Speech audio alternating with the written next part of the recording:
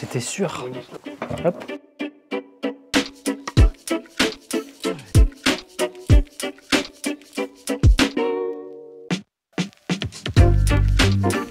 Le premier fort souvenir de lecture, c'est euh, Cro-Blanc, qui était le premier livre que j'ai demandé à avoir et que j'ai eu et que, voilà, qui m'a touché. Et moi, mon premier souvenir de lecture, euh, c'est Ulule le hibou euh, d'Arnold Lobel. Euh, moi, c'était Torgal. J'avais plein de bandes dessinées, enfin toutes les bandes dessinées de Torgal et c'est le héros euh, que je me suis le plus euh, amusée aussi à redessiner. Enfin voilà, j'étais vraiment dans cet univers-là de mythologie nordique. J'ai hésité à, dire Jack London, mais j'avais peur de te copier, tu vois, quand ah. tu as dit Cro-Blanc avant. tu peux. Hein. Mais ouais, non, parce que du coup, j'ai pensé à Lucky Luke. Enfin, en fait, tous ces personnages un peu aventuriers, qui, ouais, Astérix aussi, c'était les, personnages un peu que j'aimais bien moi quand j'étais petit, mais j'aimais bien aussi tous les photographes de la, la photo animalière à l'époque. Et donc j'aimais bien euh, tous les photographes animaliers, euh, Art Wolf, euh, Vincent Munier, mais on en reparlera peut-être. Tous les livres de Neil Gaiman. Moi, je suis hyper jalouse de Neil Gaiman. Il a, il a, toutes les bonnes idées, il les a déjà toutes prises, donc voilà, j'aurais trop voulu les avoir avant lui.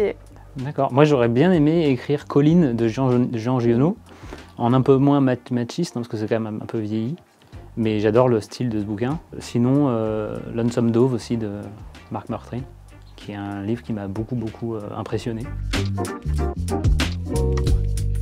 Moi, c'est très laborieux euh, quand il faut structurer, et une fois que ça c'est fait, à ce moment-là, c'est vraiment du plaisir pur.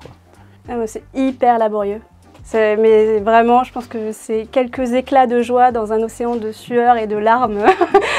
c'est vraiment... Ah, elle est dure cette question. Hein. Mm. Vas-y, commence cette fois-ci. Ah ouais, zut. euh, non, le premier truc qui m'est venu, c'est quand j'ai écrit mon premier roman, euh, qui, est un, roman historique. J'avais quatre personnages, quatre points de vue, donc du coup j'ai énormément travaillé pour avoir quatre personnages euh, qui soient très différents. Et, donc, et au moment de, je sais pas, je crois que c'est la première ou deuxième relecture, je me dis tiens c'est bizarre, mais tous ces personnages ont l'impression d'avoir vécu une injustice et d'être hyper en colère. Et là, du coup, je me suis dit, bon, il faut peut-être que j'aille voir un psy ou un truc comme ça. Bah, moi, ça serait sur le talisman du loup. Et c'est euh, l'expérience d'avoir euh, d'avoir fait un petit peu ce voyage entre les deux langues. Et moi, c'était la première fois donc, euh, on était à la fois auteur et traducteur.